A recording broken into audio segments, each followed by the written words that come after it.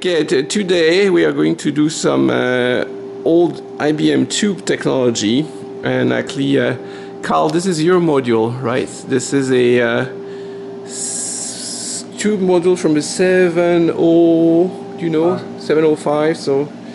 And uh, Ken has reverse engineered it as usual. And uh, he thinks he has found what it is. Oh you have a schematics of it uh, so, so what, what, what is it, Ken? So basically, it's a, a debouncer circuit for a keyboard input, like from the key, the key on the console or um, a relay contact. So it, it's kind of a simple circuit. Darn, no uh, flip flop or counter.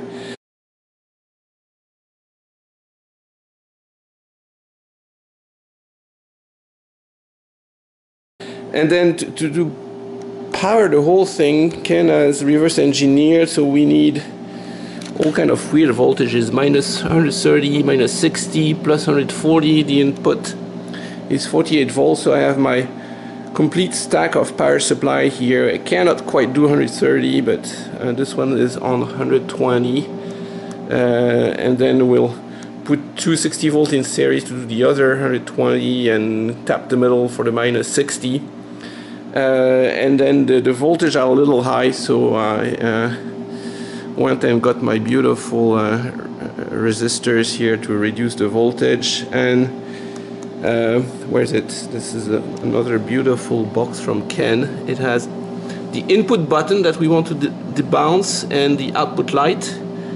And uh, we have an oscilloscope don't forget the filament transformer. And the filament transformer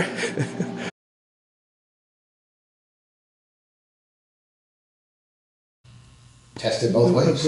One way there'll be a voltage, one way there won't. That's nine. I wonder if these probes fit in the socket. Seven, six, five, six point eight, six point eight. And you put all these in the tube tester first, right? Don't have a tube tester. I could have brought one. You just go to the local drugstore and use their That's tester. right, yes. You gotta bring them in a paper bag though. That was required. Oh yes. It is glowing. The tubes are all glowing nicely. So we know that at least one filament works on all, all the bulbs. All right.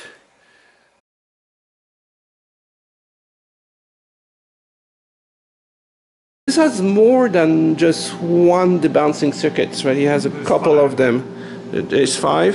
Yeah, yeah. And, and can, can you explain what, what the tubes do here? So um, five tubes are used for the five debouncing circuits, and then those go to five cathode follower buffers, which use half a tube. So that explains the other three tubes. So there's two tube types, both dual triodes and then we are only going to test one section because there was only one that was complete, right? Yeah, a few resistors have fallen off over the years. All right, we'll repair that later when we have the full computer. And then the, uh, so these racks were, were inserted and there's a hole, the connections are at the bottom. All right, so we have never powered it up. if it explodes, this will be our last video.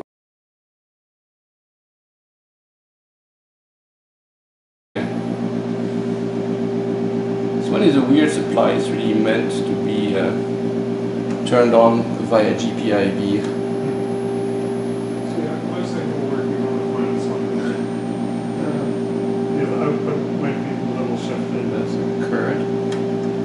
Okay, guys, are you watching? I'm, I'm turning on the 60 volts. Oh, you, you're able to get over voltage? Yeah, yeah, I got it.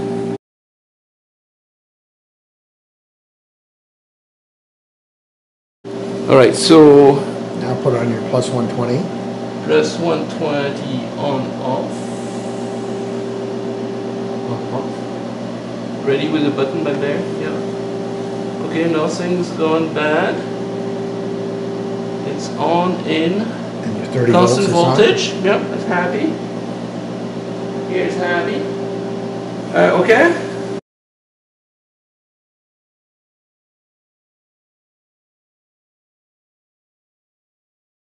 So then you want your uh, input voltage? That's on, isn't it? Yeah. So I just test here. And whoop, okay, Okay. 13 volts, and I need to push a button. Yes. It went up. Whoa, it did something. It went up and down. Well, but that's the input. The output didn't do much. The output didn't do much because it's on a by 10 um, divider. Um, no, you don't have it hooked to the instruments, I should. Or at least not to the counter. Right. Well, not to the counter, but I have it Okay. hooked up here. So this is not sensitive enough. There you go. Okay. Yeah, So what voltage is that? output? not much. It's 5 volts. Okay, so now, Is that 5 volts after dividing? Yeah.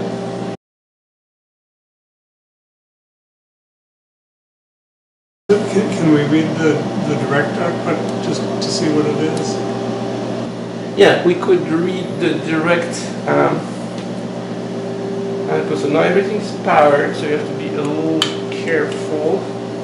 But I put that to 10k. And I put that to, let's say, 1k. And yeah, it went down. So it's, it's almost direct. and what voltage are you getting for You're, that? you're, So do you think that it's actually doing anything or have we just it looks, it looks like it. Well, we wanna, So now, we- wanna, when you know, when I need to trigger on something. right, Hopefully the switch isn't like so good there's no bounce. But Triggering on. What's the trigger menu? Source one, edge, slope up. So that should be good. Why? Why, why, why, why, why, why, why? Trigger. Oh! Your switch is pretty good. so, so lo- looks like my neon bulb isn't working then. right, but your switch is too damn good. So your switch is too darn good. It has no bounces. We'll zoom in close. I mean, because right now you're on a human kind of time scale. What you want to see is real, you Yeah, we're, know, we're seeing a delay, which is good. That shows Right. there's actually something. right. takes one and a half milliseconds. Yeah, to- that's about what I figured. right. Well, that's pretty good. So the So the, the circuit there- actually works.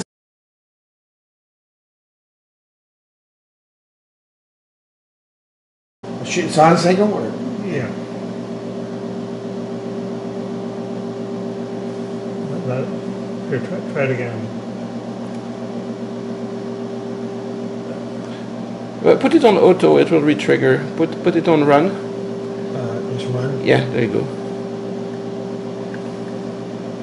Oh, you got some Yeah. intermediate bounce there, which is still good because it's. There you go. Oh, that's a nice one. That, that's Uh, kind of a mess. Well, no, no, that's superb. You have like a, a Gaussian pulses, and it transformed it into a a nice one. There you go. Here's your picture. Look at that. Yeah, because It- it- your sparks are longer than the debounce It, interval. it did, but it, it did not. It wasn't annoyed by this nor by that. It made a clean out. There's a little bit of noise, but But the, the output is not many volts. I think that's why your neon bulb is. Uh, no, no, but No, that's a different circuit the now. output comes directly from the plate, so it should be getting 100, 120 volts.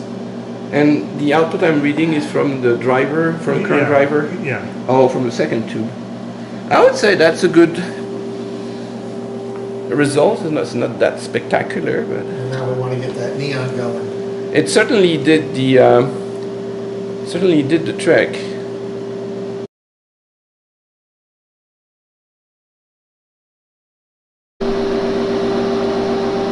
Okay, so now I have put my pulse counter here. I do start and I press the button, I should only get one count per button press. One, two, three, four, five, six, seven. So it counts clean pulses. Now we have to do it on the, so that's the output and let's, let's watch the input.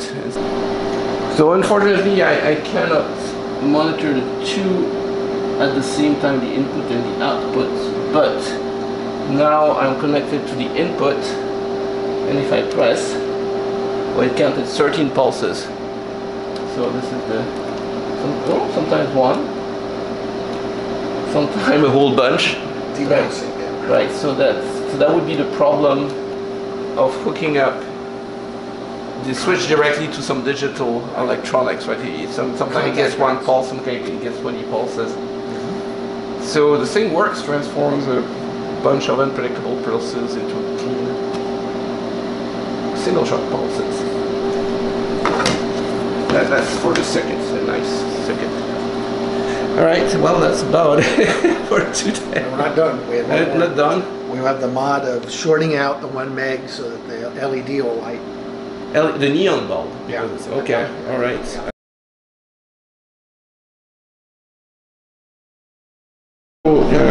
Ken was distraught because its neon bulb didn't work, and so I pulled one out of my reserve, and now we have the neon bulb connected to the output. Ken, push the button. So, so this neon bulb is connected to the high voltage plate, and when we push the button, it lights up. There we go. In Oh my goodness. These were used as, as internal status indicators for debugging. Man, the most impressive demo ever. On, off. Incredible. And without bouncing. And without bouncing, which we can't really tell. Alright. Okay, let's see if we can do it. So I have, should have everything in the picture. Let, let me reset the count over here. So that's the input, so that's the Yeah, it's gonna be bouncing. that's the bouncy one. We should we should get many counts per try. Go for it. Push. Yeah. One count only, two counts only. Oh, it's, it's nice and clean. Now you got three. A whole bunch. Ten. Right. Okay, so now let me change and get back to the output. Okay. Enter stuff, and then I have to Right, and plug it into output. Yes. hook that. Now is your, your um, decade range correct? Uh, Sensitivity? At least, so here the output is lower, so I just don't want you to blow up anything. I think I can actually, I don't need anything here. That's okay. Um, um, okay, this is going to be our final demo for the day. So I'm hooked up back to where I'm reading the output pulses. This is input, this is output, slightly delayed. And we have the uh, neon indicator. And it didn't even register anything. Are you stopped? I am stopped. Alright. Measurement error. The circuit works. One, there you go. Two, three, four, five, six, seven, eight, nine, ten. So it worked ten times, therefore it works all the time, right? Guaranteed. Alright. Well, that's that's a, a lot of hardware to do a simple function here. And then, you know, we catch it in the act here. We're trying to video this. No, that's okay. It's such an amazing phenomenon. We have to do it all at the same time. So we, I, I have a clean one where we, no, we just use the wire instead of using the. your switch is a little too nice, but the wire is, gives dirty pulses and it comes out clean. Yeah, that was really worse using all that hardware to do it. 50 plus watts. Electrons. It's no, cannot be 50 watts. Yeah, It is? It is. You, you can feel the Yeah, 27 Oh, watts of 50, television. 50 watts for five of the circuits. yeah. So, so in, in, so in, they're- in all honesty, it would be drawing- only only Only 10 a, a, a watts mere of 10 debouncer. watts to for the debouncer. Oh man, yes, it's warm.